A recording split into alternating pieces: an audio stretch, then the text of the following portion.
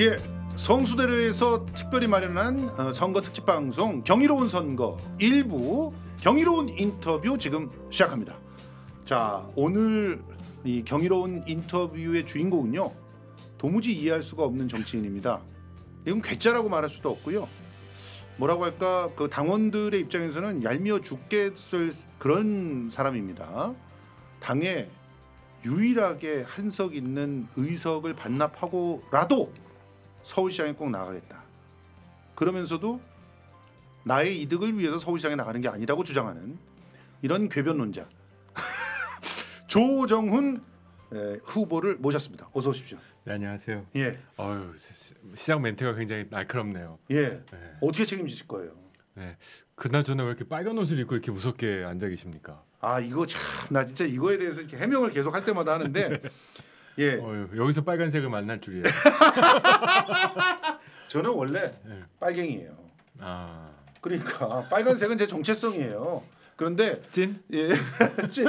그런데 이제 경이로운 그 소문이라고 하는 드라마가 있습니다. 거기 보면 카운터스라고 하는 인간들이 있거든요. 예, 이 카운터스가 악귀를 잡는 아 그런 특별한 선택된 존재들이에요. 저를 잡으러 오셨나요 오늘? 아니죠. 뭐. 이두 주변에 이렇게 그 줄을 대고 있는 악귀들이 좀 있는 것 같아가지고 예? 계속 밥 먹자고 그러고 뭐 커피 마시자고 그러면서 이제 은근히 이조 의원을 자꾸 끌어가려고 하는 그런 악귀들이 있는 것 같아서 그 악귀도 소탕해 드리려고 제가 이제 카운터스의 복장입니다. 이건 카운터스 복장입니다. 경이로운 선거는 절대로 국민의 힘을 지지하지 않습니다. 김성수를 보세요. 어떻게 살아왔나. 예. 친일파 제일 싫어합니다. 제가 어, 중학교 때부터 어, 하, 하도 한때 일본을 싫어해가지고 일식을 안 먹은 적도 있었어요. 진짜. 예. 자, 어, 우리 조정훈 의원님, 어, 조정훈 후보님 이제 후보님인데, 자 언제 의원직을 박차고 나오시나요? 그 3월 8일이 아마 마감입니다. 4월 8일. 3월 8일 예. 공직자 그 선거를 위해서 참 재밌는 게 국회의원이 대통령 선거를 나가려면 예. 의원직을 상실하지 않아도 됩니다. 근데 근데 왜 시장직을 나가려면 상실해야 됩니다. 장관 될 때도 상실하지 않아도 되는데 그렇죠. 왜 그러죠? 그러니까는 좀 편하게 뭐 만들어 준 거겠죠. 아, 국회의원이 시장 나가는 경우보다 대통령 선거 나가는 경우가 더 많다고 생각하셔가지고 아하, 그런가요? 뭐 국회의원 나갔다가 다시 돌아와라 뭐 이렇게 하신 것 같은데요. 예, 어, 저는 어, 아까 말씀하신 것처럼 제가 유일한 음, 원내 의원이잖아요. 시대전환에 그것도 실은- 뭐 본인만의 힘으로 된 건 아니잖아요. 그렇죠. 저는 이제 야구로 치면 예, 포볼 진루했다 그럴까? 포볼로 진루. 야, 그 그것만 해도 포볼 받기 위해서 얼마나 사실은 그 스트라이크와 볼을 갖다 구분하는 눈을 키워야 됩니까? 선구안이라 그러죠. 아유 뭐 이게 칭찬이신데요. 근데 에, 솔직히 이 시대 전환은 어, 줄을 잘 쓴 거죠. 아 이런 분위기 있네 예. 여기에. 좀 웃으면서 아, 알겠습니다. 웃으면서 하자는 거죠. 실은 예. 제가 그 공천을 받고 첫 번째 나온 인터넷 방송이 아마 성수대로가 아니었나. 네, 지난번 저쪽에 다른 데서. 그렇죠. 다 네. 그 스튜디오 좀 이전 스튜디오에서 했는데 그렇죠. 그 이후에 뭐 전화 한 통 없으시더라고요. 아 그래서 제가 사죄할 겸 특히 된 다음에 사죄할 네. 겸 이렇게 나왔습니다. 그래서 알겠습니다. 오늘 이제 엄청나게 두드려 맞을 것이다. 뭐 이런 각오를 하고 일단 저희 보좌진들이 거기 나가시면 안 됩니다. 성수님이 지금 단단히 벼르고 계십니다. 예, 안 된다. 가서 맞아야 된다. 예, 그래서 이걸 풀어야 된다. 예. 일단 저는 그 이 부분에 이 오해는 풀어야 된다라는 생각이 드는데 제가 안 온 이유를 아니요 안 온 이유가 중요한 게 아니고 네네. 지금 어, 권은희 의원이 갑자기 네. 그러니까 말이에요. 독대를 해가지고 네. 야권 후보로 네. 아 근데 진짜 이거를 갖다가 지금 그 미친 듯이 더불어시민당을 지지했던 어, 민주당 지지자들과 민주 진보 진영의 시민들에게는 미치고 파- 팔짝 뛸 노릇이거든요. 조정훈 의원님을 의원님 만들어 준 사람들이 그렇죠. 지금 흔히 말하는 민주당을 지지하거나 진보 진영이죠. 문재인 정권을 지지하는 사람들이에요. 그 사람이 만들어 드렸는데 난데없이 권은희랑 독대를 해서 범야권의 단일화에 참여할지도 모른다는 뉴스가 막 달리니까 너무 속상한 거야. 그래서 갑자기 그때부터 막 분노하시는 분들이 계셨단 말이에요. 자 간단하게 네. 어떤 상황이었던 겁니까? 그렇죠. 저도 제가 지난주 어, 이번 주가 아니고 지난주 일요일 날 출마 선언을 했습니다. 예. 아, 그리고 월요일 아침 출마 선언을 지- 지난주 일요일 오후 2시에 했는데 국회에서 어, 월요일 어, 전화가 왔어요 권은 의원한테. 근데 저한테 온 것도 아니고 보좌관한테 전화가 음. 왔습니다. 예. 실은 의원이 남의 방 보좌진한테 전화하는 건전아 쉽지 않죠. 해본 적이 없는 것 같아요. 예, 쉽지 않죠. 뭐 의원한테 직접 뭐 예. 문자를 넣든지 예. 전화를 거는 게 국회 상례인데 예. 아, 전화가 와가지고 어, 저를 만나고 싶다고 음. 다짜고짜 연락이 오신 거예요. 예. 그래갖고 아 그러시냐고 뭐 동료 의원이 만나러 오겠다는데 이건 뭐 그걸 노할 수는 없잖아요. 무슨 이유인지 전혀 얘기를 안 하고 얘기도 안 하고. 예 전혀 얘기도 안 하고 무슨 일로 오셨을까? 그래서 저 방에 오셔가지고 커피 한 잔을 했습니다. 예. 아 이제 따져 보시면 아시겠지만 그날 국회가 본회의가 뭐라 그럴까 임시국회 임시국회 본회의. 본회의 개원한 중요한 날이죠. 바쁘고. 그럼요 다 예. 가서 이제 국민 내려도 해야 되고 제 입법 노동자 아닙니까? 그렇죠. 절대로 출석에 결석은 안 된다. 예. 이렇게 두시인데 한 시 반에 오셨어요. 예. 한시 반에 오셔가지고 이제 어제 출마 선언한 거 받고 그날 또 공교롭게도 금태섭 의원이 제 3지대 뭐 단일화 제안을 했는데 안 대표가 이거를 진지하게 고민하고 있는데 음. 당신도 참가할 의사가 있냐 음. 이렇게 물어보셨어요. 서라 이거죠. 예. 꼿꼿이 하라 이거죠. 그렇죠. 네. 예. 그거 좀 정확하게 얘기하면 짜장면의 강낭콩 역할을 해줄 수 있냐 뭐 이거 아니겠습니까? 야, 나 짜장면에 들어가 있는 강낭콩 되게 좋아하는데. 이게 약간 어. 있으면 좀 먹음직스럽잖아요. 예, 네. 그렇죠. 예, 그, 아 짜장면의 강낭콩 역할을 부탁하는구나. 예. 근데 제가 이제 아, 완두콩 예. 완두콩. 파란색 완두콩. 삭제도 안 되죠. 예. 완두콩. 예. 아 완두콩. 아, 강낭콩과 완두콩 논쟁으로 지금 빠지고 있습니다. 아, 예. 자, 완두콩. 그래가지고 제가 그랬어요. 아, 이게 그 안철수 대표의 공개적인 제안이냐, 음. 아니면 권은희 의원이 저를 그냥 떠보러 온 거냐. 음. 애돌려서 이렇게 얘기했죠. 예. 그래서 공개적으로 좀 전 정치 담백하게 하고 싶은 사람인데 음. 공개적으로 좀 알려달라. 음. 그리고 알았다라고 해서 이제 둘 다 이제 본회의장으로 가는데 본회의장으로 가는 도중에 기사가 났어요. 이거는 조정은 안철 권은희 단독 회동. 이거는 미리 약간 미리 깔아놓은 거야. 약간 그렇죠? 언론 플레이 하려고 몰아가려고 깔아놓은 거잖아요. 좀 사는 솔직히 말씀드리면 좀 놀랐고 불쾌했어요. 불쾌해야죠, 당연히. 네. 예. 근데 이거 우연히 기자를 마주쳤다고 하시는데 본회의장에 오셔가지고 저한테 해명 비슷한 설명을 하셨거든요. 음. 그러면서 막 기사가 막 단독 기사가 나고 막 돌기 시작한 거죠. 예.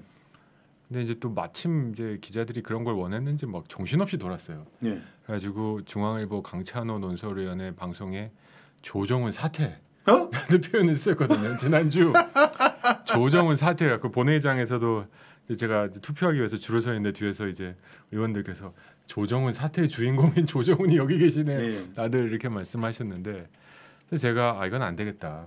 가르마를 타야겠다. 음. 이건 뭐 즐길 일도 아니고 저는 이렇게 생각했습니다. 아, 새로운 정치라고 하시면서 소위 새로운 정치 제3지대를 어, 국민의힘으로 가는 중간 정거장 정도로 나는 건 반대다. 음. 어, 그때 이렇게 경선하자는 그 어, 조건을 보면 뭐 이 경선은 어, 문재인 정부 심판에 동의하는 사람들이 와야 된다. 그러니까 반 문재인 연대. 그렇죠. 그게 어떻게 새로운 정치고 제3지대입니까? 예. 심판이라는 것 자체가 뭐 새로운 정치하고는 상관이 없죠. 그렇죠. 그러면서 중간에 뭐 어, 뭐라고 써 있었냐면 정책과 비전으로 경쟁한다. 음. 근데 이게 말이 안 되는 거죠. 예.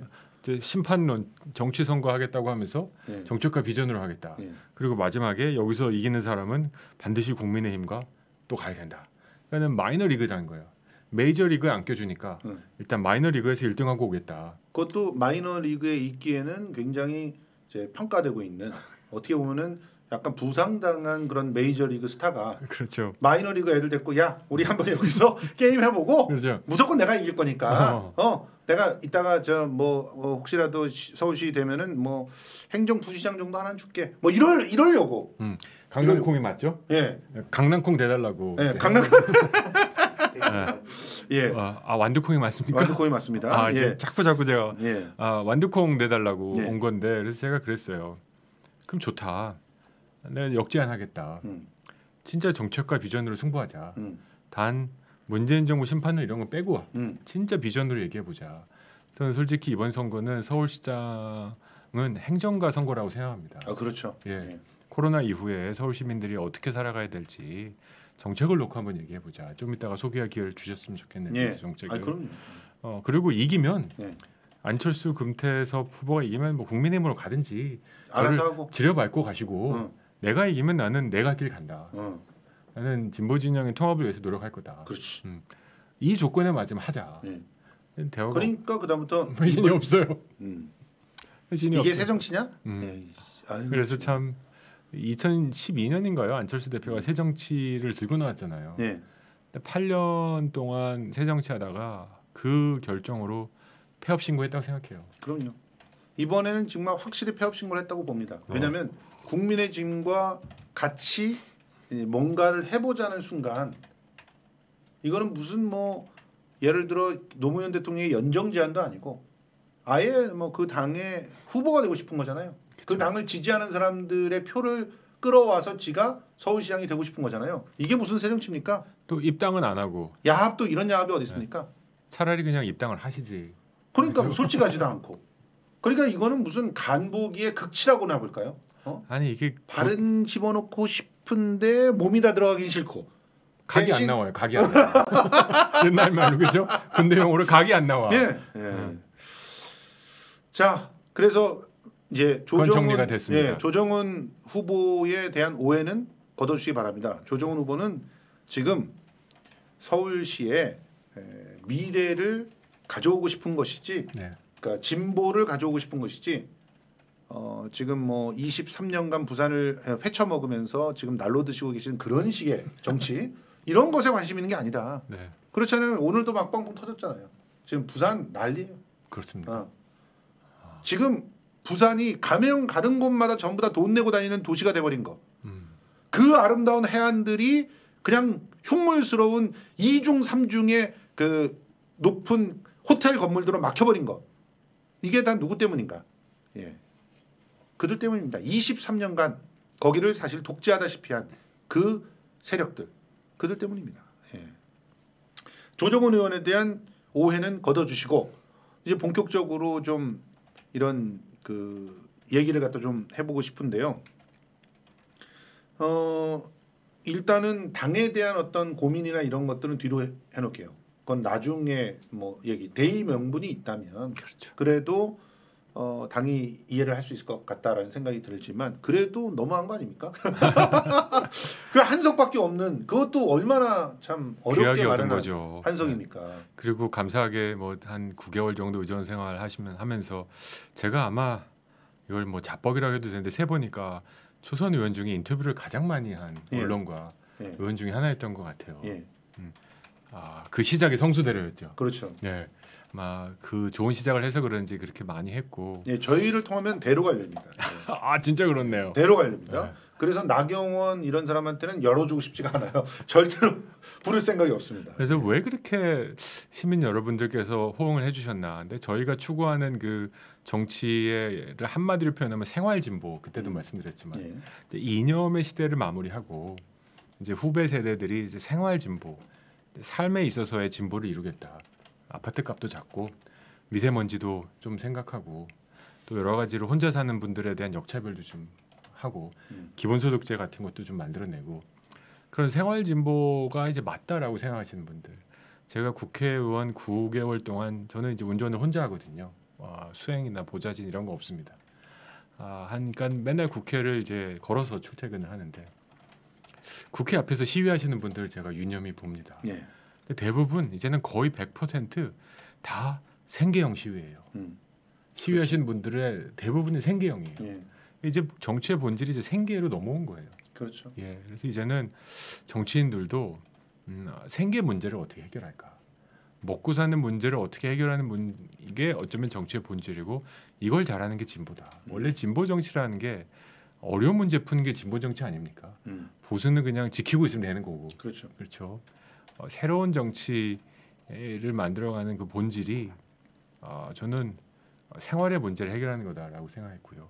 그런 의미에서 이번 선거는 저는 이렇게 생각합니다. 솔직히 제가 민주당 후보도 아니지 않습니까? 예. 국민의힘 후보 더더욱 아니고 제가 출마 선언을 했지만 저의 적은 이 양당의 후보들이 아니다.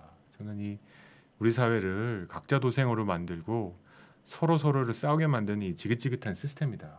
이 양극화의 문제다.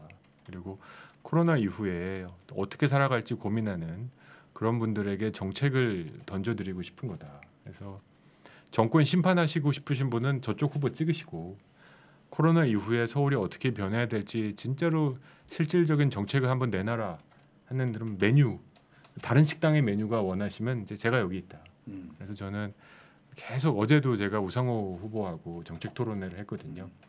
반응이 아주 좋았습니다. 그리고 또주 4일제에 대한 얘기를 아마 곧 다른 진보 진영 후보들랑 이어갈 것 같습니다.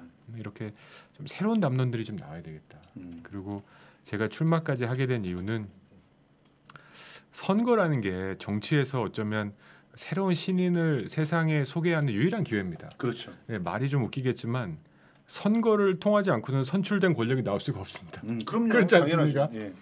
근데 저는 솔직히 다 훌륭한 후보님이고 선배님이지만 약간 다 훌륭하진 않아요. 그렇죠. 예. 약간 나홀로 지배를 약 10년째 보낸 느낌이에요. 아하. 예. 이렇게 표현하면 어떨지 모르겠습니다. 예. 나홀로 집에 좋은 영화죠. 재밌고 애들이랑 볼 수도 있고. 다 좋진 않아요. 사람들을 너무 어, 좀 그 폭행을 하는 그런 장면도 그런. 부분도 가끔 예. 있죠. 그러니까. 근데 그런 것도 좀 있어 야 재밌긴 하죠. 예. 근데 나홀로 집에를 10년째 보는 느낌. 네, 우리 정치가 새로운 인물이 그렇게 없을까? 제가 뭐 제일 잘나서가 아니라 저 같은 좀 신상품도 좀 나와야 음. 되지 않을까. 음. 그래서 신상도 있고 old 구상도 있고 재활용하는 문지원도 있고 아니 근데 문제는 이게 정당 정치라고 하는 건 정당과 함께하는 정치 아닙니까? 맞습니다. 근데 혼자서 하는 것 같아요. 아 전혀 아닙니다. 제가 1인 정당이라고 말할 때마다 저희 당원들한테 너무 죄송해요. 예. 저희 당원들이 거의 8천 명 가까이 되는데 예. 이게 어떻게 1인 정당입니까? 저희- 8천 명한테 허락 받고 하시는 거예요? 저희는 8천 명까지 다 물어보진 않았고요. 네. 전국 대표 당원이라는 게 있습니다. 예. 상징하고 전국 음. 대표 당원이 주요 의사 결정을 하는데 출마하기 전주에 정말 매일같이 밤에 줌으로 회의를 했습니다. 음. 왜냐하면 저희 의원직은 공공재잖아요. 솔직히. 그럼요. 예. 예. 제가 어디서 투표하면 뭐 의원이 투표가 아니라 시대전환은 뭐 중대재해처벌법에 찬성했다. 그렇죠. 공수처법에 찬성했다. 음. 뭐에 반대했다. 이건 시대전환 전체가 한 거거든요. 그렇죠. 그래서 저희는 항상 아주 민감한 이슈가 있으면 텔레그램 등등을 통해서 직접 민주주의를 합니다. 그러니까 이게 참 음. 보면은 음. 저는 이제 시대 전환의 움직임 또 비슷한 처지지만 기본소득당의 움직임들을 보면 네. 이 둘은 너무나 작은 정당인데 제대로 정당 정치를 하더라. 약간 가성비가 있죠. 예, 그러니까 보세요. 상대적으로 엄청난 정당인데 국민의 진 같은 경우는 보면 여기는 부산에 가가지고 가덕도 신공항 하겠습니다 이래놓고서는 원내대표는 대구에 가가지고 어 거기 공항 못 들어가게 하겠습니다 이러고 있거든요. 이게 정당 정치야? 그러니까 말이에요. 이런 사기가 어디 있어요? 협잡이지. 어? 이런 일들을 국민의 집만 하는 게 아니에요. 그나마 저기 그 민주당 같은 경우는 당론을 모으려고 노력을 하는데 너무 인간이 많아가지고 좀 힘든 부분들이 있고 거기에는 각양각색의 인간들이 다 있으니까 그건 인정. 네, 뒤에서 협잡도 하고 이런 인간이 있는 거예요. 그런데 그건 인정. 노력을 하니까. 그리고 당론을 모으려고 하고 당론을 모으는 과정을 거치기 때문에 그 당론을 결정을 못 한다고 해도 입법에서 예, 가결이 되지 않습니까? 맞아요. 그건 그건 인정. 이건 정당 정치의 모습이다. 근데 저 노란당은 모르겠어요. 거기는 보면은 그냥 아 노란당. 어, 예. 거기도 뭐 보면은 당원의 바람이고 뭐고 어떻게 수렴되는지 모르겠어요. 그냥 앞에 나와 있는 스타 플레이어들 몇이 그냥 당을 갖다 다 주물럭주물럭 하는 것 같고 실제로 정말 중요한 정치들을 중요한 결정들을 다 다들 이렇게 당원들 얘기를 듣고 하는 건지 왜냐하면 당계가 난리가 나거든 맨날 안타까운 마음이 좀 있습니다. 그건 토론이 아니에요. 그냥 일방적으로 수로서 짓누르는 거지. 내가 당권 잡고 있으니까 조용히 해. 이러는 거지. 이거는 마치 야 내가 고용했으니까 조용히 해. 개기면 너 당기위원회 보낼 거야? 이거랑 똑같은 거예요. 이게 갑이지 뭡니까? 이게 국민의 대표입니까? 진짜 그 당의 대표라면 조정훈 의원처럼 하세요. 어? 그래서 진짜 어렵습니다. 밤에 잠을 못 자더라도 줌으로 회의하면서 해도 되겠습니까? 허락 받고 하라고. 근데 언론에서는 이런 거 갖다가 마치 조정훈은 혼자서 다 단독적으로 하고 음. 뒤에 당원들은 마치 들러리 서거나 불만을 갖고 있어서 말을 못하는 것처럼 왜 기사를 쓸까요? 잘 몰라서 그럴 거죠. 그냥 그러려니 짐작하는데 근데 음. 저희는 이제 저희 당의 가성비는 중요한 이슈들은 서로 투표한다. 예. 그리고 끝장 토론하고 한 이슈는요 51대 49가 나왔어요. 아이고 이거 제일 답답한 일이죠. 제일 답답했고 예. 아, 어떻게 했을까요 제가? 혹시 서울 후보 나가는 거 그거 아니었습니까? 아니, 그건 뭐 훨씬 더 편했고요. 예, 편했고. 예, 51대 49가 나와가지고 어떤 거가 51대 선거? 이, 그 이번 거는 뭐 솔직히 말씀드리면 우리 어, 판사 탄핵. 판사 탄핵에서 51대 49가 나고. 네. 그래가지고 이게 실은 51대 49가 나오면 거의 반반이라는 소리지 그렇죠. 않습니까? 네. 어, 이게 숫자적인 그러니까 서로가 서로에 대해 굉장히 이제 약간 그 감정이 섞인 토론을 음. 이제 처음 해봤어요. 예. 그래서 근데 어쩔 수 없다. 민주주의라 이런 거다. 음. 그 서로 토론하고 그다음에 의사 결정에서 결정이 되면 저는 숙주다. 음. 공공재로서 숙주니까 나를 통해서 우리 당의 의사를 정하는 거다. 음. 그래서 저는 51%에 투표했습니다. 음. 49%가 다음에는 더 열심히 설득하시고 어, 더 열심히 활동하셔서 어, 그쪽 방향으로 당을 이끌어 가시라. 야, 근데 개인 그 조정훈의 의견도 있을 거 아니에요. 저도 한 표 했죠. 예. 저도 한 표 해야죠. 네. 그건 뭐 인정해 주시지 않습니까? 예. 근데 저는 제가 그게 저쪽으로 갔으면은 저기가 50이 됐을 거 아닙니까? 뭐 제 투표도 비밀 투표였기 때문에 아, 이렇게 빠져나가시는구나. 거칠라도 잘 걸려들어요. 아, 참 예. 국회의원 하면서 좀 늘었나요? 예, 많이 드셨는데 예, 아, 예, 안. 걸려든다. 네. 야, 네. 예. 하여튼 그렇습니다. 그래서 그런 정치 하는 거고 이번에도 정말 어, 당원 여러분들께 이렇게 말씀드렸습니다. 저희 공공재고 방금 같은 의원 때문에 어, 저희 선거하자. 음. 그리고 우리 얘기를 마음껏 던지자. 음. 단 저는 의원직 상실할 각오하고 한다. 어차피 포볼로 진로한 거 득점하기 위해서 정치는 어쩌면 배지를 떼고 이뤄야 이기는 경우도 있다. 음. 그렇지 않습니까? 정치란 게 없는 길을 만들어가는 게 정치지 네. 있는 길 또 가는 게 정치는 아니다. 이게 사실 저도 예전에 대학 시절에 이제 소수파였기 때문에 선거를 하면은 판판이 깨져요. 아, 그런데 이제 선거를 할 때 돈도 써야 되고 시간도 써야 되고 그렇잖아요. 그렇죠. 그러니까 또 어떤 면에서 운동권들은 좀 숨겨야 될 사람들도 있는 건데 노출이 되게 되고 이런 것들은 또 굉장히 그때 당시만 해도 큰 노출되는. 순간 뭐 바로 경찰서에서 이제 연락이 오는 상황이니까 그렇군요. 어 그러니까 굉장히 힘들었던 상황인데 근데도 끝까지 선거에 후보를 냈거든요. 한 번은 후회하지 않으시죠? 그렇죠. 저는 꼴찌했어요. 어. 예, 소, 총학생회장 후보로 나가서 꼴찌를 했는데 에, 제가 그 소수파에 몸담고 있는 상황 중에서는 표를 제일 많이 얻었거든요. 그래도 그렇군요. 그 바로 생활 정치 이런 부분을 비슷하게 얘기를 했었어요. 네, 이제 이념으로 싸우, 싸우는 그런 시대는 갔다. 동의합니다. 예, 실제로 학교를 어떻게 바꿀 수 있는지 그 대안을 갖고 와라. 그리고 소통을 해야 된다. 너희들은 맨날 대중을 추수하고 있는데 대중은 추수하는 게 아니다. 대중을 쫓아가는 게 아니다. 소통을 해서 우리들의 문제를 명확하게 해서 거기에 대한 대안을 제시하는 거다. 이런 얘기를 했거든요. 거기에 많은 분들이 호응해 주셔서 아 저는 그게 네. 격하게 동의합니다. 예. 근데 우리 성수님은 제가 성수님이라고 불러야지. 그 선구자셨던 거죠. 음. 그리고 지금은 이게 어찌보면 너무 정상인 거다. 예. 정치를 제외한 대부분의 사회에서는 이렇게 가고 있다. 음. 그래서 아까 의원적인 얘기를 마무리하면 그래서 제가 약속은 하나 드렸습니다. 음. 3월 8일 전에 전 당원의 의견을 다시 한번 듣겠다. 예. 어, 저도 한 표를 투자하고 예. 저는 가라면 가고 음. 멈추면 멈추겠지만 예. 저는 보좌진들은 지금 사표 쓰고 시작한 거다. 그러니까 말이에요. 지금 어? 제가 어떻게 하실 거예요, 보좌진들을? 그래서 제가 아 얘기했어요. 이런 식으로 해고를 합니까, 보좌진을? 저부터 해고를 하니까 제가 뭐 고용할 권리도 없지 않습니까? 예. 참 근데 나는 이렇게 해고하는 거는 참 어떻게 보면 보좌진들의 입장에서는 멋있다. 이런 생각이 들 것 같아요. 그냥 뭐- 나랑 성격이 안 맞아서 오지 마세요. 이러고 단기위원회 제소하는 것보다는 이런 식은 너무 괜찮은 해고가 아닌가. 대장이 먼저 끝나겠다고 하니까. 예. 뭐 근데 대장은- 병태야 어떡하니? 아니 여기 보좌진 중에 저희? 예전에 극단에서 제가 극단 한강 출신인데 그랬구나. 예, 그런데 이 전화해서 연결 드릴까요? 권병태 보좌 지금 현재 보좌관이 네, 극단 한강에 지는 단원이 아니에요. 네. 지 여자친구가 단원이에요. 권병태 특집을 한번 해야겠네. 예. 근데 이 권병태라는 이 순정남이 지 여자친구의 그 어, 직장인 극단에 거의 출근 도장을 찍는 거예요. 와가지고 왠지 참. 왜 이렇게 안 놀랍죠? 예, 참 좋은 분입니다. 그런 희한한 인간이 있습니다. 네. 그리고 서울대 출신으로 일용직 노가다가 돼 있는 것을 자랑스럽게 생각하는 그런 사람도 있습니다. 10년이나 했죠. 서울대 출신으로 온갖 그 권력들을 갖다 이용해서 남의 것을 뺏는 사람도 있는가 하면 그렇지 않는 사람도 있다. 그런 걸 저는 이제 병태를 통해서 봤는데 그게 저희 의원실 보좌관이십니다. 예.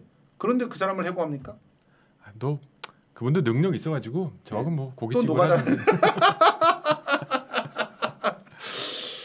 자, 그러면 정책에 대해서 좀 묻고 싶어요. 네. 다른 거 다 떠나서 음. 그 우리 조정훈 의원의 정책을 부각시키려면 어, 나경영의 얘기를 해야 될 것 같아요. 음.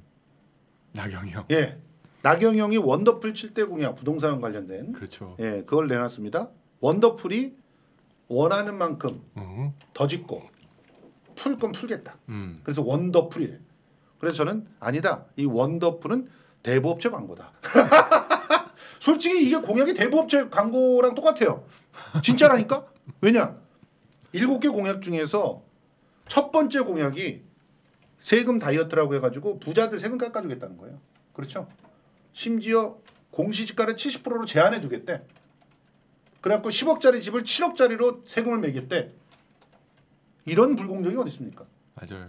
그리고 또 이제 가장 화제가 됐던 게 이제 청년들에게 1억 얼마 주겠다고. 1억 1,700만 원을 주겠다. 애기 나면. 근데 뭐 청년 혼자 있을 때는 2,700만 원을 주고 그다음에 결혼을 하면 4,500을 주고 출산하면 4,500을 더 줘서 1억 1,700을 주는 줄 알았어요, 우리가. 그러면 이 재원이 어마어마하게 필요하잖아요. 그렇죠. 아, 5만 쌍에서 6만 쌍 정도가 결혼을 하는데 이 재원은 그냥 그러면 언뜻 계산해도 5조 이상의 돈이 있어야 되는 거예요. 서울시 예산이 40조인데. 근데 알고 봤더니 그게 아니야. 일단 조건이 굉장히 까다롭네요. 39세 이하. 맞아요. 대출하면 뭐 이자 갚아주겠다는 대출 이자를 내주니까 은행에 돈을 주는 거예요. 저는 그 본질의 문제가 있었다고 생각해요. 예. 잘 들어보면 이건 대한민국 출산화 가격 매기기예요. 진짜. 그렇지 않아요? 예, 맞아요. 1억 얼마 안 되면 더 올려줄게. 어. 아, 뭐 이거잖아요. 그렇다고 나옵니까? 네, 그 우리 청년들이 왜 결혼 안 하고 애 안 낳는 거에 대한 본질적 이해 부족이에요. 고민도 없어요. 예. 뭐이 정도 돈 없어서 못 낳는 거 아니겠니? 예. 돈줄 테니까 애 낳아. 어. 낳아줘. 뭐 이거잖아요. 그것도 제대로 돈 주는 게 아니라 대출을 이자를 준다니까 더 요- 열받는 거야. 너를 갖다가 돈 줄 테니까 알아서 써. 이것도 아니라니까. 그러면 어떤 사람은 그 4,500 갖고 장사를 할 수도 있고 맞아요. 어떤 사람은 4,500 갖고 어? 아이한테 교육에 투자를 할 수도 있고 이런데 은행에 그냥 주는 돈을 주는 거야. 은행에. 맞아요. 자, 일단 빚을 져 갖고 와라. 그러면 그 대출 이자를 3년간 내줄게. 자, 4,500 줬지. 근데 그게 이 사람한테 준 겁니까? 은행한테 준 거지? 이런 공약을 내놓고 감히 서울시장 후보가 되겠대요. 청년들이 분노한 이유를 아직 그 파악을 못하는 것 같아요. 예, 어, 그래서 기꺼이 미래 세대를 위한다면 나경영이 되겠다고 하셨는데 아, 이건 나, 허경영 씨에 대한 인격. 모독이고 허경영보다도 못해요. 어떻게 같이 후보에게 그런 말을 할 수 있는지 예, 그러면 안 되고요. 예, 또 청년들이 왜 이렇게 반발하는지 좀 귀를 열어서 들으셔야 돼요. 예. 예. 그리고 내가 잘못 생각했다라고 좀 사과하면 멋지잖아요. 그렇죠. 예. 그럼 쿨하게 넘어갈 수 있잖아요. 예, 절대로 사과를 안. 누구든지 다 실수할 수 있으니까. 근데 절대로 사과 안 해. 예, 그러니까 일을 더 크게 만들고. 그렇죠. 아, 그래서 자꾸 꼰대 꼰대 소리를 듣는 거잖아요. 아, 그래서 저는 청년들 제가 내, 이제 이, 이 기회를 이어서 예. 제가 첫 번째 냈던 공약이 혼삼에 대한 역차별 금지입니다. 혼삼 역차별 네. 금지. 혼삼러라고 아시죠? 혼자 알고 사는. 분들. 예, 서울 기준으로 어, 1인 가구가 33%입니다. 맞아요. 어, 가장 많은 비율을 차지하고 있습니다. 이 근데 혼삼들은 우리 사회 살면서 대단한 역차별을 느껴요. 이거 진짜 모르는 사람은 절대 몰라요. 제가 둔촌동 주공 아파트 재건축 단지 갔는데요. 단군 일의 최대 재건축 아파트 단지입니다. 음, 만 세대. 예, 그래갖고 집주인들 다 나눠주고 한 4천 몇 세대가 일반 분양인데 혼삼이 들어갈 수 있는 아파트는 한 세대도 없습니다. 맞아요. 왜냐하면 주택 청약을 하는데 혼자 사는 사람은 가점이 안 나와요. 아이도 이게 없고. 예, 이게 근데 참- 내거 세금 내 거 다 내고. 근데 이런 비판을 할 수가 있어요. 혼자 사는 사람들이 33%까지 많아졌으니까 이런 문제 제기를 할 수는 있지만 실제로 국가를 유지하기 위해서는 결혼도 해야 되고 출산을 해야 되고 그런 사람들이 많아야 되기 때문에 그걸 장려하는 거 그게 뭐가 문제냐 네, 이런 얘기를 한단 말이에요. 그게 이런 문제가 있습니다. 옛날 고대 시대에 예, 싱글세라는 게 있었습니다. 로마 시대에 맞아요. 여자가 여자가 남자가 아니고 여자가 26살이 되고 결혼 안 하면 싱글세를 내야 물렸어요. 네. 너는 사회에 할 일을 못 한다. 음. 그건 중세적 정책이 아니고 고대 정책이죠. 그렇죠. 고대 로마니까. 예. 그 정신이 아직도 온 거예요. 그렇네요. 네. 저는 그렇다고 애 낳는 게 아니다. 혼자 사는 삶도 떳떳하고 자랑스럽고 편리하게 해줘야 예, 실은 결혼하지 않으면 못 살게 만들어서 결혼하고 애 낳게 만드는 건 그게 좋은 나라는 아니잖아요. 그렇죠. 선택하게 해야지 그렇죠. 강제할 수는 없는 거죠. 맞습니다. 예, 저 압니다. 살다가 연애해가지고 결혼해가지고 같이 살고 싶은데 전세 자금 마련할 거 없는 건 대출해 주면 고맙죠. 예. 그 정책 저는 지지합니다. 예. 다만 이거를 혼삼들을 불편하게 만들어서 결혼하게 만들고 애를 만드는 거는 이거는 중세 정책도 아니고 고대 정책이다. 맞다. 그래서 싱글세에 대한 이 역차별들을 다 해소하자. 음. 그래서 제가 어떻게 얘기했냐면 저는 뭐 서울시장이니까 국가 정책은 모르겠고 SH 공사 있지 않습니까? 음. 서울 도 주택공사. 그래서 분양하는 아파트는 반드시 1인 주택을 의무화시키겠다. 그래서 1인 주택을 1인 그 저희가 2019년에 박원 집더 짓자는 게 아니에요. 네. 박원순 시장이 어, 계실 때 여론조사를 하셨습니다. 네. 30대 여성분들 중에 공공 임대를 원하느냐, 집을 원하느냐, 70%의 분들이 주택 청약을 원했어요. 주택 보급률이 3%. 음. 왜안 되느냐? 청약을 해도 되지가 않는 거예요. 그렇죠. 네, 점수가 어, 혼자 살면 20대, 30대는 23, 2, 30점밖에 안 나와요. 그러니까 1등급이 안 나와요. 네, 50대가 되면 1순위가 나와야 되는데 1순위가 안 나온다니까. 네, 59점 나와요. 50세가 되시면 네. 혼자 사는데 그때 이제 거의 끝났죠 뭐. 지금 근데 65점, 70점 나오잖아요. 음. 주택 청약은 근데 그 정말 미안한 게 그런 싱글 분들이 혹시나 해서 다 주택 청약이 있어요. 그렇죠. 다 있어요. 음. 쓰리라고 희망도 없는데 다 있어요. 지금 이런 것들 안 된다. 그래서 저는 앞으로 주택을 분양할 때 적정 비율의 1인 가구 또 1인 혼자 사는 분이 84제곱미터 필요 없거든요. 방색의 라이프 스타일이 완전히 다르잖아요. 그렇죠. 그래서 SH 공사가 하는 거 서울시장의 가장 막강한 권한은 저는 재개발 어, 인허가권입니다. 네. 뭐 닥치고 솔직히 말하면 서울시장의 막강한 권한은 재개발 인허가권이거든요. 앞으로 재건축, 재개발, 부동산을 할 때 적정한 비율의 1인 주택이 없으면 허가하지 않겠다. 음. 그래서 1인 가구들도 주택 소유의 욕구를 인정해드리겠다. 이거 좋은데요? 아 이런 정책을 해야 실질적으로 그 혼자 사는 여성 싱글들이 그 사회적으로 대접을 받는데 왜 노란당은 이런 정책을 못 내놓죠? 아쉽죠. 저는 맨날 싸움만 하잖아요 남자들하고 그래서 제가 그 가산점 달라고. 공약을 내고 국회에 가서 이렇게 했더니 1호 공약이 뭐예요? 제가 혼삼 정책 했습니다. 네. 혼삼이 뭐예요? 그러시는 거예요. 동료 정치 국회의원께서 그래서 아, 혼자 사는 사람 1인 가구입니다. 야 틈새 시장 잘 공략했네. 그러니까. 진짜 근데 실은 그게 틈새 시장이 아니에요. 그렇죠. 33%가 33% 어떻게 틈새예요? 예. 저분도 지금 혼자 살아요. 지금 이혼하고. 그래서요. 아둘 다네 둘 다. 참나. 그래서 이제 혼자 사는 사람이 떳떳하게 편리하게 어, 살게 해드리겠다. 지금 우리 여기 분위기가 아주 다들 훈훈합니까? 격공하는 그런 분위기로 바뀌고 있습니다. 네. 자 그리고 또 이 1호 공약은 그렇다 치고요. 또 내세우고 있는 그런 그 다른 후보들이 안 하는 고- 공약. 진짜 좀 무거운 거 빼고 네. 살짝 강약 중강약이지 예. 않습니까? 약하다고 하시면 화내실 텐데 반려동물 정책이 있습니다. 아 저도 개 키우거든요. 예, 우리나라의 반려동물 등록이 천만입니다. 예. 서울은 꽤 많죠. 예. 근데 제가 공약한 게 두 가지인데 반려동물의 공공의료보험제도. 야 이거 나도 모르게 야. 마음에 드십니까? 어 너무 좋아요. 그렇죠. 어. 이게 생활 진보예요. 야 이거 진짜 의... 병원에 갈 때마다 그렇죠. 솔직히 이게 얼마나 나올지 아무도 몰라요. 애는 너무 사랑스러운데 그렇죠. 솔직히 몇 백만 원씩 나와요. 지갑 비는 거 보면은 진짜 솔직히 진짜 내가 이거를 갖다가 우리 아들한테 써야 되는 거 아닌가 이런 생각이 들거든요. 근데 네. 이런 얘기를 갖다 입 밖에 딱 꺼내는 순간 또 어, 정말 제대로 된 반려인들이 우리 걔는 왜 왜 아들이 아니야? 이런 식으로 얘기하시거든. 그렇죠. 맞아요. 그래서 반려동물 의료보험제도 만들고 예. 각 구별로 반려동물이 갈 수 있는 보건소를 만들겠다. 야 보건소까지. 예, 반려동물 보건소. 이게 문제가 뭐냐면 의료 수가가 표준화가 안 돼 있잖아요. 병원마다 달라요. 맞아요. 그렇죠? 그러니까 이게 어디 가면 얼마인지 다 카페 들어가 가지고 검색해 보고 가야 되는데 가도 손해 봐. 가도 왠지 왠지 바가지 쓴것 같아.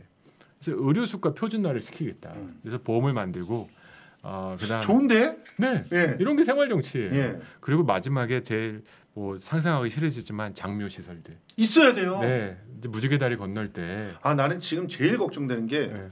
우리 아들이 진짜 동생처럼 이 바람이를 좋아해요. 아, 그래서 맨날 잘 때 요즘에 이제 혼자 자는 연습 막 시키거든요. 그렇군요. 근데 혼자 잘 때 무서우니까 나 바람이 좀 안고 자고 싶어 이러거든요. 근데 이제 아시잖아요. 근데 얘가 언젠가는. 10년 후에 음, 10년 후면은 어떻게 될지 몰라요. 그렇죠. 그러면 우리 아들이 얼마나 가슴 아파할까? 지금 현행법은요 반려동물이 무지개 다리를 건너면 일스예요. 일반 쓰레기예요. 맞아요. 일반 쓰레기 봉투에 버려서 다들 불법으로 예. 해요. 그래서 저는 반려동물 장례 시설을 만들어야 된다. 예. 그래서 어, 정말 어, 여러 가지 규격 다 갖춰서 혐오 시설 되지 않도록 그래서 가는 마당에 좀 마음도 아픈데 그런 것같이 서럽지 않게 하겠다. 아니 지금 있잖아요. 골 때린 게 이 의료보험이 없으니까 음, 어떤 선동들이 가능하냐면 특히 의사들이 이따위로 얘기를 합니다. 강아지 알 까는데 음, 어? 강아지 알 까는데 받는 돈이 사람 애 받는데 드는 돈보다 그 주는 돈보다 더 싸다. 그러니 의사 하겠냐? 이러면서 선동질을 하거든요. 음, 그게 의료보험 때문에 그런 거예요. 맞아요. 어? 아니 솔직히 의료보험 돼 있으면 강아지 알 까는데 들어가는 비용이 어? 사람 받는데 들어가는 비용보다 비싸겠어요? 그런 얘기는 싹 숨기고 맞아요. 의료 수가로 돈을 갖다가 받는 것이 수가 타령하면서 근데 그 수가만 갖고 돈 버는 게 아니잖아요, 여러분들이. 어? 맞습니다. 그래서 반려동물 보험 제도는 반드시 만들 수 있고 지금 민간 보험이 있는데 그 보험 가입률이 1%도 안 돼요. 그러니까는 부분들이 무슨 얘기하냐면 보험 가입하는 차라리 적금 들어두자. 네, 그게 낫다. 왜냐하면 가성비가 안 나오니까. 그렇죠. 그래서 저희가 가성비를 확 높인 공공보험을 만들어 드리겠다. 예, 그리고 최소한 보건소 가시면 예. 아, 적정 가격에 다 치료 받으실 수 있다. 일단 예방 접종만 해도 이게 몇 건입니까? 그런 말이죠. 강아지 예방 접종비 장난 아니에요. 네 맞아요. 예, 저한 달에 한 번씩 가가지고 이제 털에다가 이렇게 발라주는 그 진드기랑 이런 거 방, 방지하는 그약 음. 그리고 또 두 달인가 석 달에 한 번씩 가가지고 또 구충제 먹이는 그렇죠. 약 이런 거 꾸준히 먹여야 됩니다. 네, 그거 해줘야죠. 근데 이거를 의료보험 제도가 되면 보건소에 가가지고 네. 그냥 무료로 해준다거나 무료로 정말 실비로 해준다거나 그 우리 의료보험 가서 천 네. 몇백 원 내는 거 삼천 원 그렇죠. 그건 하실 수 있잖아요. 3천 원이야 뭐. 아이고 그죠? 야 3천 원이야 예측 가능하니까. 야 진짜 그게 사는 거죠. 그게 좋은 세상이죠. 그러면 솔직히 말해서 우리 애를 더 우리 강아지를 더 사랑하고 걔한테 더 투자를 할 수 있을 것 그렇죠. 같아. 유기가 훨씬 덜 될 거고. 그렇지. 이제 유기를 어떻게 막을지를 생각해봐요. 지금. 맞아요. 예. 그래서 저는 예. 예. 그래서 하여튼 그런 거가 있고요. 이제 한 가지만 더 말씀드리면 이제 사람으로 다시 돌아가면 이제 양대 이제 가장 중요한 건데 하나가 주사일제고요. 네, 두 번째가 기본소득입니다. 그렇죠. 네. 이제 저는 이제 주사일제 사회가 오, 와야 된다고 생각하고 실은 왔습니다. 음. 아 저희가 이번 구체적으로 얘기하면 노동시간 단축이죠. 제가 봤더니 우리 사회에 이미 주사일제를 선택하는 기업들이 꽤 많아요. 예. 미국은 기업의 25%가 주사일제를 하고 있고요. 예. 근데 다들 뭐 유럽 알겠다 하는데 우리가 되겠냐? 음. 여러분 일본 아시죠? 일본 우리만큼 일 많아, 많이 하는 일본 자민당에서 주사일제를 공식적으로 검토하기 시작했습니다. 중국 공산당에서 나온 보고서에 이제는 주사일제 해야 된다고 일자리를 좀 나누고 일과 아, 삶의 그 균형을 맞춰야 된다라고 하셨습니다. 솔직히 말해서 주 4일제가 정착이 되면 어, 일 노동 뭐 균형 정책이라고 하는 것에 들어가는 재원이 꽤 많이 그쪽으로 옮겨가면서 옮겨갈 수 있죠. 네, 옮겨가면서 사실상 어, 조금 더 쉽게 이 문제를 해결할 수가 있습니다. 그런데 예. 주 4일제를 꺼내질 않아요. 입 밖으로. 네. 왜? 아이 다 기업으로부터 돈 받고 돈 받아 처먹는 인간들이 있으니까 그렇죠. 주 어? 6일제에서 주 5일제 간게 2004년. 예. 그렇죠. 16년 흘렀는데 그때 저희가 국회에서 조사해 가지고 여론을 봤거든요. 한마디로 정리하면 나라 망한다. 음. 그 언론들이 앞장서서 그랬죠. 네. 조중동. 나라 망하지 않아요. 나라 망하지 않았죠. 그리고 아니 조중동 사주는 주 4일이나 근무하나? 글쎄 아, 말이죠. 지는 4일밖에 근무 안 하고 어 골프 치러 다니고 여행 다니면서 왜 거기 일하는 사람들은 주 4일로 일을 하면 안 된다는 거야? 그 사람들은 가정이 없어?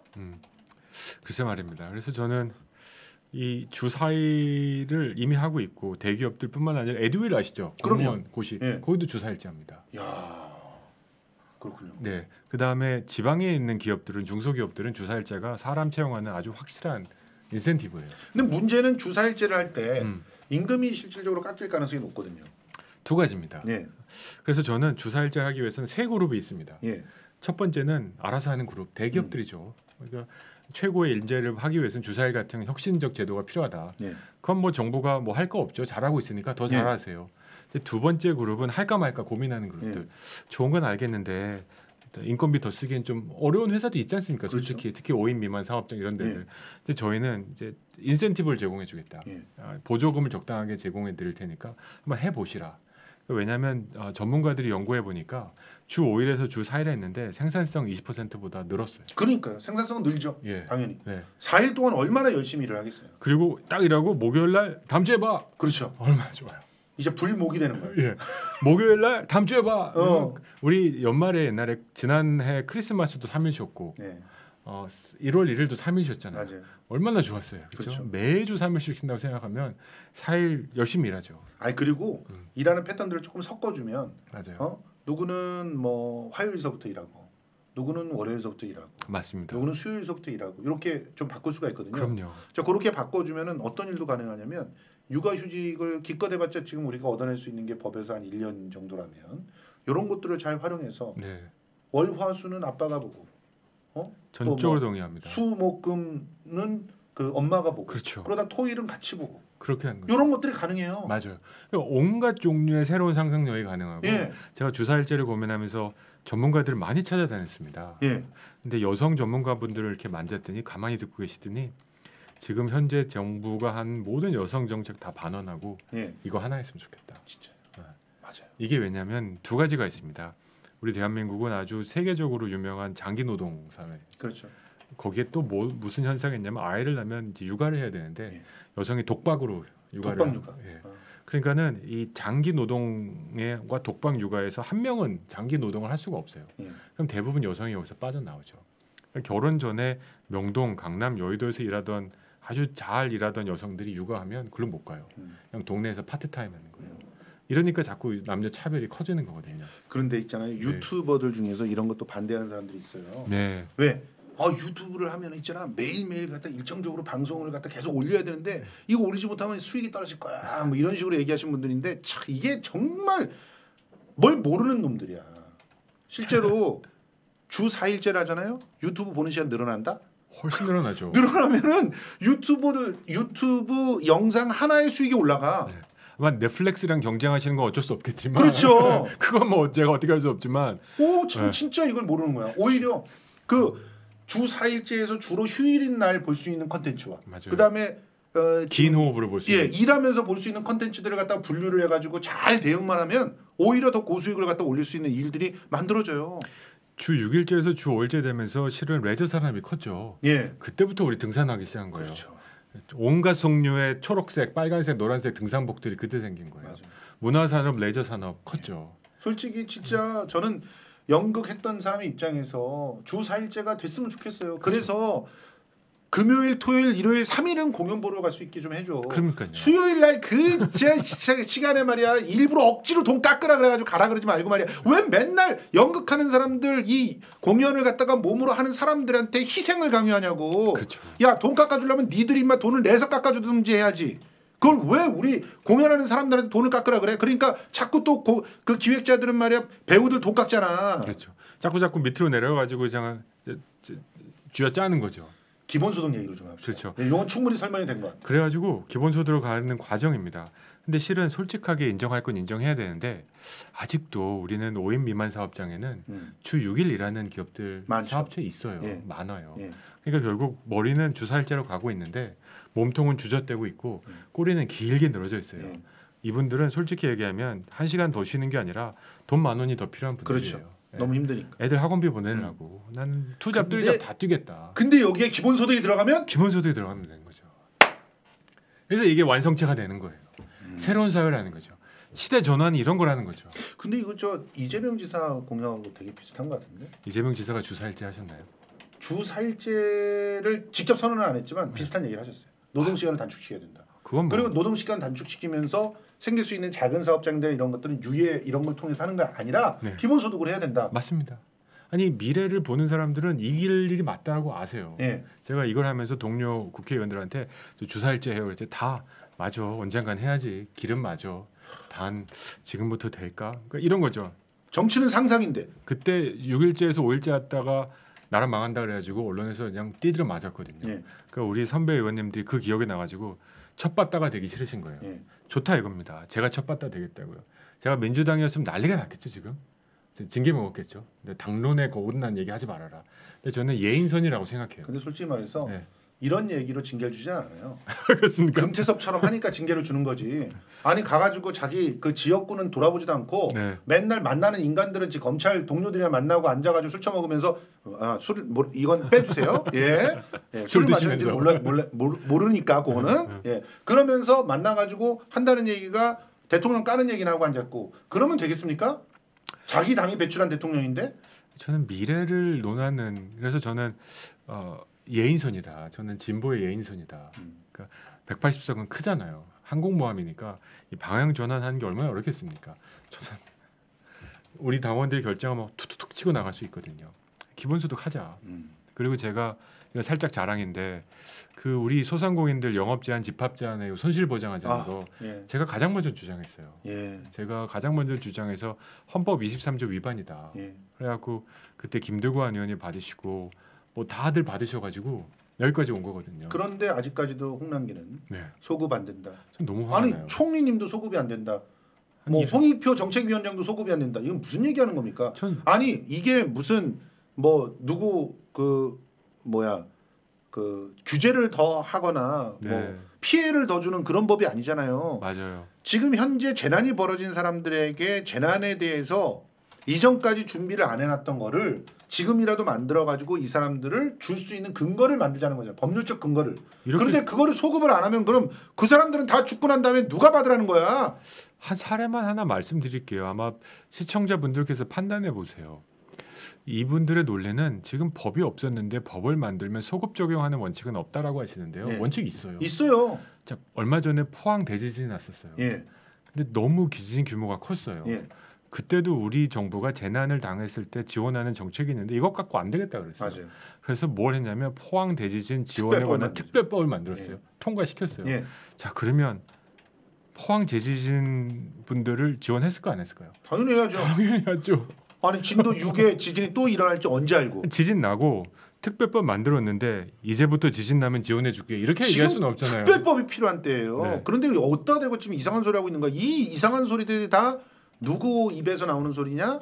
사실은 기업을 보호하고 기업의 마인드로 야 저기 세금은 다 우리 돈인데 기업 이러고 있는 데를 어 네. 심지어는 거기에는 옆에 끼어 있는 애들 중에선 저 돈은 다 일본 돈인데 이러고 있는 애들까지 같이 끼어 끼어 가지고 국민들한테 돈을 주는 걸 막고 있는 거예요.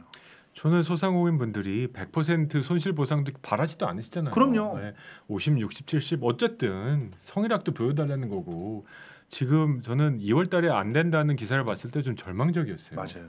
이렇게 되면요, 어, 장례식장이 부주금 나가는 거예요. 그렇죠. 지금 우리는 응급 병원에 응급실에 이거 그대로 있는데- 써주세요. 네. 요거 좀 써주세요. 이거 기가 막힌 표현이야. 지금 응급실에 장례식장에 부주 부주금 나가는 거다. 그거 네. 죽은 사람한테 무슨 소용이 있겠습니까? 그러니까요. 부조. 죄송합니다. 오늘 완두콩 강낭콩 하여튼 지금 제가 조금 근데 지금 조의금이라고 하세요. 조의금. 네, 조의금. 조의금. 지금 부조금 나가면 혹은 조의금. 네. 병원에서 지금 응급실에 계신데 급하게 병원비 드리는 거거든요. 빨리 나시라고. 병원비 정도는 드려야지. 그렇지. 병원비 드릴 수 있는데 너 늦으면 조의금을 갖다 어떻게 조의금을 드리게 되는 거예요. 이게 무슨 의미가 있어요? 이게 이게 지금 법리 따지고 이게 지금 재난의 시대에는요. 재난의 정책이 필요한 거고 재난의 경제학이 필요한 건데 예. 이때 핵심은 신속함이에요. 그렇죠. 정책의 정교함이 아닙니다. 예. 이런 내가 신속함으로. 네, 내가 지금 오늘 내일 하고 있다는 절박함이 있으면 이런 논쟁 못 해요. 맞습니다. 오늘 내일 하고 있다는 절박함이 있으면 일단 죽어보는 거예요. 예. 사후 약방문이라고 그러고 그렇죠. 어? 소 잃고 외양간 고친다 그러죠. 아니 불이 났는데 소방서한테 야 저 불을 끄려면 너 얼마의 물이 필요한지 보고서 갖고 와. 이런 거 요구하는 소방관 없어요. 그냥 갖다 그- 붓는 거잖아요. 그런 저기 대통령이 있었어요.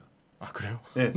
애들이 빠져 죽고 있는데 얼마나 상황이 심각한지를 동영상을 좀 갖고 와봐. 이러던 도- 대통령은 있었습니다. 그 결과 우리 다 봤잖아요. 예. 예. 그래서 지금 빵에 가 있죠. 그러니까요. 그런데 그 죄를 안 졌다고 네. 이 인간들아? 우리는 지금 이게 좀 재난의 시대고 이게 정말 죽고 사는 문제인데 음. 하루하루 지나면서 폐업하는 가게 수를 우리는 벽에다 두고 정치하는 사람들, 정책하는 사람들이 기억해야 됩니다. 맞습니다. 오늘 우리 24시간을 또 헛되이 보냈기 때문에 전국에서 몇 명을 폐업했는지 자기 가족이라면 그거 이럴 눈 시간이 우리에게 보겠어요? 있는지 자기 가족이라면 그 눈 뜨고 예. 보겠냐고요. 법리 좋다 이겁니다. 손실보상법 만들고 그다음에 특별법 만들어서 2019년 재난에 특별하게 보상하면 돼요. 예. 다 방법 있고 포항 대지진은 솔직히 국가가 잘못한 거 아니잖아요. 네. 이런 자연재해까지 보상했는데 이번은 세금 멀쩡히 내고 있는 가게들 문 닫은 거잖아요. 예. 그, 그 정부 말 지켜서 이렇게 손해 본 건데 이걸 보상한다 만다를 마치 시혜처럼 얘기하는 건 좀막 화가 나요. 우리 개똥자매님이 얘기를 듣다가 이제 뒷부분을 좀 못 들으셔가지고 이런 질문을 했어요. 주사일 일요일 특근하다가 일자리 나누자고 해서 500 벌다가 400 버는데 그 돈은 기본소득으로 채워드린다는 겁니다. 네, 그러니까 기본소득과 주사일제가 함께 진행돼야 된다는 거예요. 맞습니다. 이게 핵심입니다. 네. 그리고 그 임금이 낮아지는 주사일제는 전 찬성하지 않습니다. 그래서 여러 가지로 어, 주사일제를 하고 있는 기업들의 한국을 포함한 기업들의 대부분은요 임금을 낮추지 않았습니다. 그렇죠. 아, 다만 생산성이 올라갈 때까지 시간이 좀 필요합니다.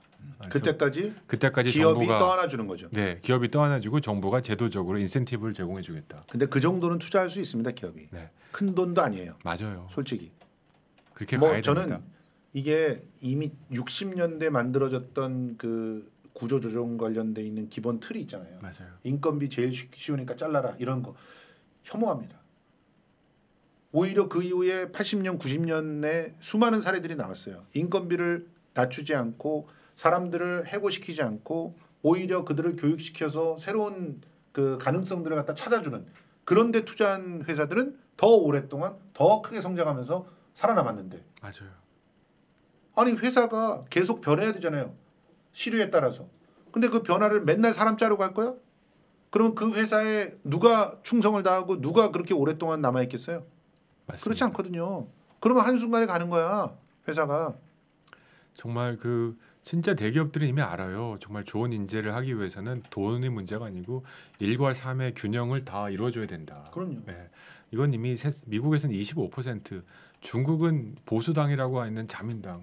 오늘 오세훈 의원이 아, 오세훈 후보께서 어, 이제 박영선 후보가 이제 4.5 지지한다라고 하셨고 음. 이제 저의 4.5에 대한 실은 좀 의견을 나눴거든요 네. 개인적으로 박영선 후보님하고 어 근데 철모른 얘기한다고 하시는데 주사일제는요 오세훈 후보님 아 그분은 저 초등학생 밥, 밥그릇 뺏은 사람이니까 얘기할 필요가 없어. 이미 와 그냥- 있습니다. 그냥 그냥 저 예전 사람이에요. 그때- 10년 쉰 사람이야. 그때 시간이 멈춘 것 같아요. 예. 10년 쉰 사람하고 무슨 얘기를 해요? 알겠습니다. 그냥 가서 다섯 살이야.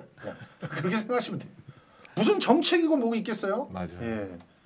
뭐 조선족 얘기하고 앉아 있는 사람인데 자기가 떨어진 이유가 조선족 때문이라는 그런 얘기를 어떻게 유권자들한테 할 수 있습니까? 조선족은 유권자 아닙니까? 정치인의 격이 있는 건데 그러면 안 되시죠. 그러니까 그 그런 사람들하고는 논쟁할 필요도 없고 가치가 없고요. 자 그러면 이제 마지막으로 이 공식적인 질문입니다. 네. 어 단일화 이거 뭐 어떻게든 이 진보 진영 범, 단일화요. 네, 범여권 내 단일화. 혹은 내가 떨어지더라도 이, 이 공약들 누군가 받는다면 내가 그 사람 확 지원해주고 확 밀어주고 내가 그 사람하고 어떻게 보면 정치적 연대하고 그리고 나는 의원직 지키겠다 이런 거 출구 전략이 어, 있냐 뭐 그러니까 이런 이런 출- 말씀 출구 전략 네. 이런 거 어떻게 생각하시는지 제가 한 한 100번은 한 100번 이상은 들으신 것 같아요. 음. 뭐 국회에서 특히 민주당 뭐 진보 진영 의원들이 아깝다. 음. 너 나름대로 열심히 하고 다들 좋아하는데 감사하죠. 근데 저 이렇게 얘기합니다. 제가 상품 가치에 대한 평가도 아직 안 나온 상태다. 음. 제가 힘을 실어드리면 특정 후보에 특정 당에 예. 이게 지지율이 몇 퍼센트 오를지 아무도 모르는 거예요 지금. 음, 그렇죠. 이게 뭐 1% 오를지 5% 오를지 10% 오를지. 그래서 저는 이 방금 지금 저희 이제 출마한 지 8일 됐는데 주사일제는 버글버글합니다. 예. 내일 아침에도 이제 뭐 방송 나와서 주사일제 토론을 하고요. 예. 이제 주사일제와 기본소득이 어떻게 세상 바꾸는지 이제 주요 후보들이 한 마디씩 한 마디씩 하고 있습니다. 예. 이런 이슈들 몇 개를 저는 좀 세상에 던지고 싶어요. 예. 아까 예- 말씀드린 대로 서울시장 선거는 큰 선거지 않습니까? 예. 그렇죠? 이런 큰 선거에 아무런 정책에 대한 대안도 없이 그냥 인물론 10년 전 그 얘기만 똑같이 할 수는 없어 그럴 수는 없다고 생각하거든요. 예. 그래서 저는 일단은 어, 서울 시민 여러분들의 또는 국민 여러분들에 대한 평가를 좀 받아보고 싶어요. 이제 간신히 여론조사에 제 이름이 올라가기 시작했거든요. 예. 음, 도대체 이런 새로운 정치인, 새로운 정책을 말하는 사람들이 에, 유권자분들에게 어떤 평가를 받는가? 아, 이거 한번 보고 예. 뭐 힘을 보탤 일이 있으면 힘을 보태는 거고요. 그렇죠. 쭉 가겠다. 나는 뭐 못 먹어도 고다 하면 가는 거고요. 음. 음, 제가 4월 7일에 서울시청에 있을 수도 있지 않습니까? 3월 7일 날. 4월 7일. 4월 7일 날 진짜 아니 성수대로에 나왔는데 그런 기운은 좀 받아가야 되지 않을까요? 알겠습니다. 예. 예, 알겠습니다. 아, 제가 모실라 그랬는데 처음으로. 예, 알겠습니다. 어, 진짜. 네. 예, 저를 네. 예, 서울시에 네. 저 경기도민인데요. 아 그래도 예. 게스트로 아, 예. 네. 게스트로. 네. 예, 게스트는 뭐 사절하겠습니다. 아니, 정중하게 식사를 모실라 그랬더니 예, 그 정도 아니고요. 뭐 서울문화재단 정도를 맡겨 주신다면 제가 예, 네. 관심이 있습니다.